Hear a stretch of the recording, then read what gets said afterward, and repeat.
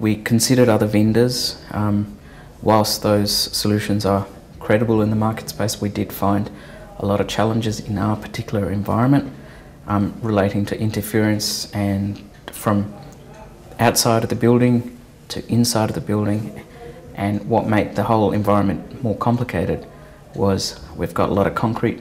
Um, all our guest rooms are concrete um, walls, um, and therefore signal penetration into those rooms was also a challenge from the corridors into the guest rooms.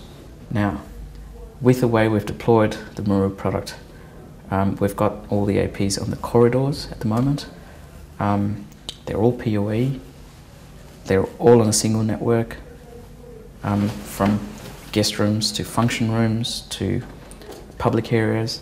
It's all on a single network and it allows us to roam between those areas without having to repurchase. This is a challenge we had before.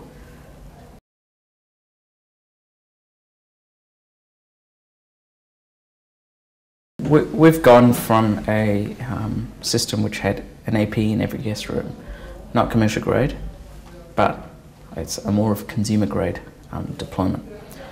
What and they were not PoE, they were traditional power adapter based um, APs. So what that means is that there are multiple points of failure. With the old um, system we had, we used to um, average between 150 to about 170 um, sort of issues that we had to deal with with the old solution. Um, when we had our focus groups and talking to our front office and other teams in the hotel, the key thing was to try and reduce that um, in and try to eliminate the root cause of all the, you know the problems that we were having.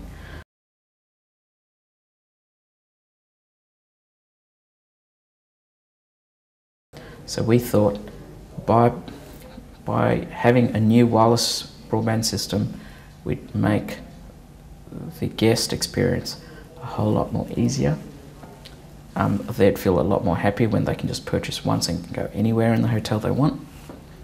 And without having to repurchase, obviously there's no added cost to it. But the ability to roam, they just close their laptop, it goes in a sleep mode in their room, they come out to the, um, the bar or the function room, they just open it up, it's already remembered that it was there, just bring it up from sleep and away you go, you're connected and it's running. So it's very seamless um, in the way that we've actually deployed the Meru and iBAHN solution.